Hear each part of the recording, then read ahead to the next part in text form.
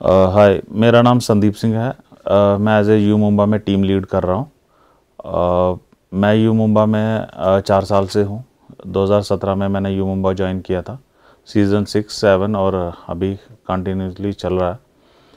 मेरा basically role जो है वो सीज़न होने से पहले जहाँ पे भी जो भी टूर्नामेंट होती है उनको एज ए स्काउटिंग करता हूँ नए नए प्लेयर ढूंढता हूँ।